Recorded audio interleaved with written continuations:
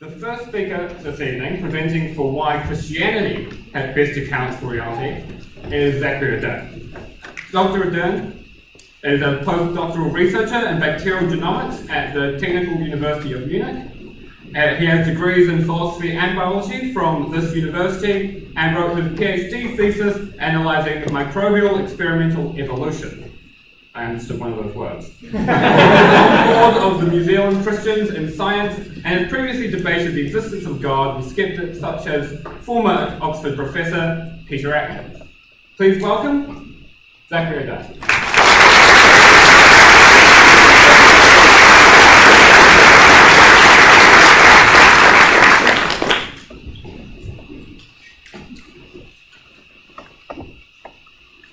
Well, thanks everyone for being here. It's, it's great to be here. And I want to start with a quote uh, from a distinguished University of Auckland professor, uh, Robert Nola, who's here with us. He said um, in a recent uh, interview, I think all hell can break loose when you don't keep control of the rational grounds for believing. So, firstly, thank you, um, Robert and Peter, for engaging in this really important discussion with us. And in response to this quote, I want to say that Tom and I agree uh, fully, and we're curious to hear the rational grounds for believing in atheism, the claim that God does not exist, or naturalism, the claim that nature, that only nature exists. These are claims that the NZARH is founded on, so I hope to hear some defense of them. As a Christian, I believe that there is a reason for the existence, order, comprehensibility, and emergent properties of this universe. That reason is the loving God revealed in Jesus Christ, the God of Christian theism. God is the creator of the universe. God is personal, with an interest in rationality, relationships, and human beings. But the claim of atheism is that there is no such God and no transcendent personal being. Naturalism is a particular version of atheism. It claims that reality is limited to the physical universe explained by science. Reality is not dependent on something transcending the universe. Instead, it is a brute fact. Naturalism, I want to suggest, is a worldview on the run. The idea that the world is not dependent on God, but exists by virtue of its own nature, is not new. Views similar to this were held by some ancient Greek thinkers. And up on the screen, I've, I've listed some of the beliefs which naturalism has historically been associated with. Historically, it has been associated with these ideas, along with others which have also been rejected. Firstly, materialism, that only matter exists. This has been rejected by modern physics. Secondly, the logical problem of evil, that the existence of evil is logically incompatible with the existence of God. This has been universally rejected by modern philosophy of religion. Thirdly, Hume's argument against miracles, by the Scottish philosopher David Hume. And he argued that Hume, uh, uniform human experience of natural causes rules out belief in miracles. But this has been rejected through properly understanding probability theory by people such as the agnostic uh, John Earman. Fourthly, an eternal universe, belief the universe is eternal. This has been brought into serious question by this discovery of the expansion of the universe last century. And finally, reductionism, that everything can be reduced down to physics. This belief has been rejected by most modern philosophers of science and mind. The Oxford theologian and intellectual historian, previously a biophysicist, Professor Alister McGrath, was himself formerly a committed atheist. He argues that modern atheism has gravitated towards science as providing justification for its beliefs as a kind of last stand in the face of rising religiosity around the world. The new atheism is a fair response to the slow death of the myth of the inevitable progress of the Enlightenment. So, naturalism is a deficient hypothesis on the back foot against the tide of history. That's what history seems to suggest. And it looks to me like it's ad hoc, it's always changing to fit the data. But Christian theism, in contrast, is not ad hoc. It is based on quite independent historical evidences, and those evidences have not changed. The hypothesis provided by these historical evidences concerning Jesus Christ happens to help in explaining many other features of the world, which I think is a remarkable result. So not only is naturalism an historical failure, as I briefly summarized, but we think that it's playing explanatory Jenga. Removing God from the picture has major effects on one's worldview. Beneath the surface, it leaves many fundamental features of our world unexplained and unexplainable, and we'll quickly explain why. We believe that the existence, order, and comprehensibility of the universe point clearly to a transcendent personal cause. Firstly, the existence. The universe consists of things which could be different, and it itself, the sum of physical things, could have different properties. This is a basic assumption of most people who are working in, for instance, cosmology. The universe could be different, that's why we can model different scenarios. Things which could be different cry out for an explanation of why they are as they are, rather than otherwise. Science is a fair-minded response to this cry for explanation. But naturalism offers no explanation of why this universe, considered as the totality of physical reality, exists as it does. Yet theism does offer an explanation. If you say that all of reality is contingent, though, one possible naturalist replied, you're saying that even basic mathematical logical truths could have conceivably been different.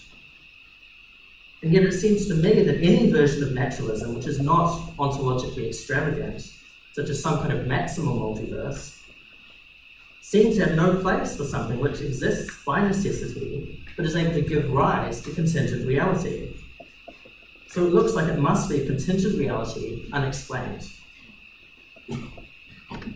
Secondly, order in the universe, I think, points to a transcendent personal cause. So one argument from order is suggested by the atheist philosopher of science, Nancy Cartwright.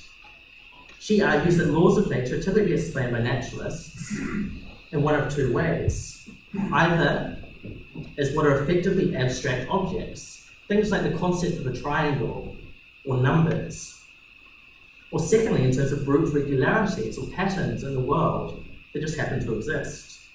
But she argues that neither is an adequate account of the prescriptive nature of laws.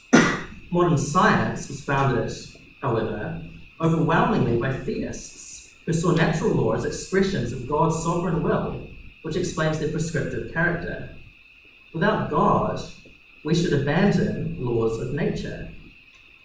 Another reason to favour God as an explanation of fundamental cosmic order is that it cannot have a scientific explanation, or the order would not be fundamental. The only explanatory option remaining, which we're familiar with, if the order is to be explained, appears to be a personal explanation.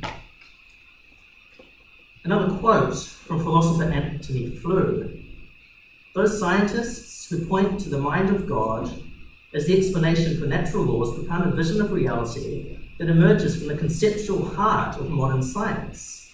It is a vision that I personally find compelling and irrefutable. In 2004, this leading atheist, and still, interestingly, an honorary associate of the NZARH, publicly declared his renunciation of atheism and belief in deism on the basis of recent work on the kinds of arguments that I'm offering. So I highly recommend his co authored 2007 book, There Is a God. A second argument from order in the universe. The order we observe is incredibly improbable if naturalism is true, and incredible specificity is required to allow the existence of carbon based life forms. The fine tuned outcome is surprising given naturalism, but less surprising given theism, so it constitutes evidence for theism. The exact numbers, uh, many of which I could quote, don't matter here. The point is that if the values of various fundamental constants, which affect processes such as the expansion of the universe, the creation of heavier elements and stars, were very slightly different, then carbon-based life could not exist. In a foreword to a recent book on this topic, the Nobel Prize winning and agnostic Australian cosmologist Brian Schmidt puts it this way Humanity appears to be part of a remarkable set of circumstances, involving a special time around a special planet, which orbits a special star, all within a specially constructed universe. It is this set of conditions which has allowed humanity, or humans, to ponder our place in space and time. I have no idea why we're here, but I do know the universe is beautiful. The general point about the surprising specialness of this universe has been stated by many atheistic scientists, including uh, NZARH Honorary Associate Hermann Bondi in an early book on cosmology in the 1950s. He describes uh, such coincidences as very striking and possibly having deep significance, but quite mysterious. Finally, the comprehensibility of the universe. We can, to a remarkably large extent, understand this universe. We can compress huge amounts of experience into elegant mathematical formulae and use them to predict what will happen next. There are three, I think, related issues here. Firstly, that abstract mathematics should even apply to the physical universe at all. Secondly, that equations favored by humans for aesthetic reasons should have predictive value in science that human beings should have come to begin to truly understand the deep structure of the universe. Each is at least somewhat surprising, given naturalism, but less surprising in a world governed by the mind of God. The naturalist, who is a scientific realist, makes a surprising claim that our undesigned human faculties, which arose through an accidental process, give us a picture of the deep structure of the world that is essentially correct despite the infinite number of other theories that could also fit the data available. Albert Einstein said, I've never found a better expression than religious for this trust in the rational nature of reality and its peculiar accessibility to the human mind. Cambridge astrophysicist uh, put it uh, as up on the slide. So, in conclusion, our universe amazingly somehow exists, it's ordered, and it's comprehensible. Christian belief, which began 2,000 years ago because of historical uh, realities about Jesus of Nazareth, remarkably has explanatory power regarding these fundamental features of our universe. Atheism and naturalism do not. So, to conclude, I quote from an account by MIT computer science professor Rosalind Picard of her journey of exploring these things. In denying God's existence, I realized I was making assumptions that were based on no deeper truths than those I sought to discredit.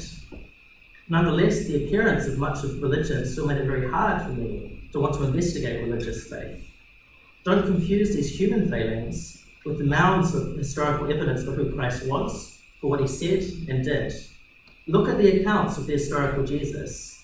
Read about his life and his resurrection. Examine the evidence. Decide what you will believe. Thank you.